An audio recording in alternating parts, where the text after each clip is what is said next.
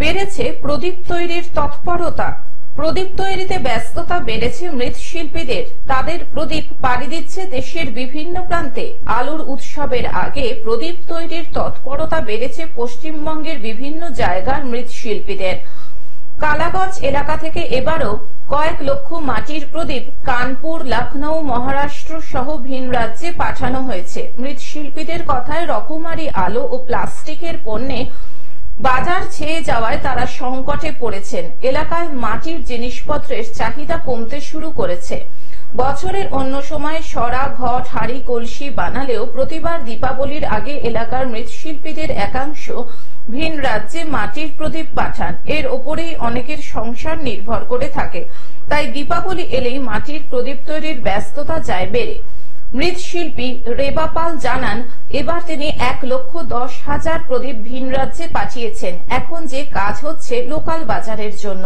মৃৎশিল্পীদের সূত্রে জানা গিয়েছে, দুর্গাপূজার আগে ভিন রাজ্যে প্রদীপ পাঠিয়ে দেওয়া হয়েছিল। এক হাজারটি প্রদীপের দাম পাওয়া গেছে চারশো টাকা। পরবর্তীতে সেই দাম নেমে তিনশো আশি টাকা হয়েছে। এলাকার কয়েকজন মিলে প্রায় দশ থেকে বারো লক্ষ প্রদীপ ভারতের বিভিন্ন রাজ্যে পাঠিয়েছেন।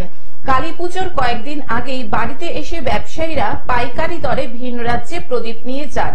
প্রদীপ তৈরির জন্য প্রয়োজনীয় জ্বালানির পাশাপাশি মাটির দাম বেড়ে যাওয়ায় খুব বেশি মুনাফা হচ্ছে না। তবুও পুরনো পেশা আগলে রেখেছেন অনেকে।